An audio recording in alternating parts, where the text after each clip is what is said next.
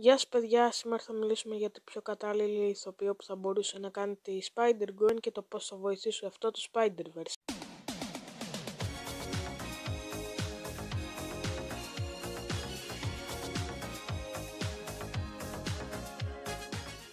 Φυσικά και καταλληλότερη είναι η Emma Stone και εδώ αρχίζουμε να μιλάμε για το πώς θα βοηθούσε το Spider-Verse.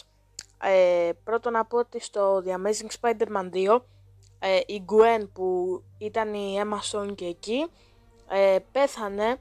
Βασικά δεν μπορώ να το εξηγήσω με λόγια. Πάμε να δούμε τη σκηνή. Gwen, σε παρακαλώ μην πεθάνεις, Gwen. Gwen, όχι. Ίσο μου κάνει παστίτσιο, σε παρακαλώ. Τώρα, ε, η Spider-Gwen στο universe της έχει έναν φίλο που νομίζω τον ξέρουμε όλοι, τον Peter Parker. Ε, εκεί ο Peter γίνεται κάτι σαν τον Lizard και πεθαίνει. Ε, δηλαδή ακριβώς το αντίθετο από αυτό που γίνεται κανονικά πεθαίνει Gwen και μένει ο Peter το αντίθετο.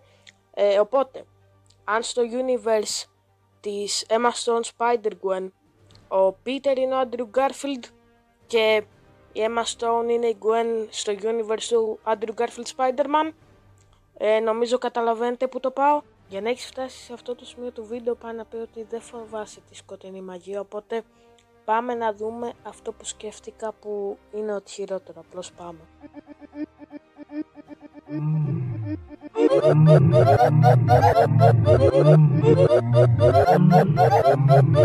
Οπότε αυτό ήταν το βίντεο, μπορείτε να μου πείτε τη γνώμη σας, ε, ένα like, ένα subscribe. Πιστεύω ότι ο Spider-Man του Andrew και η ε, Spider-Gwen της Emma θα γίνει ζευγάρι λογικά. Οπότε αυτά για τώρα. Εσύ μικρέ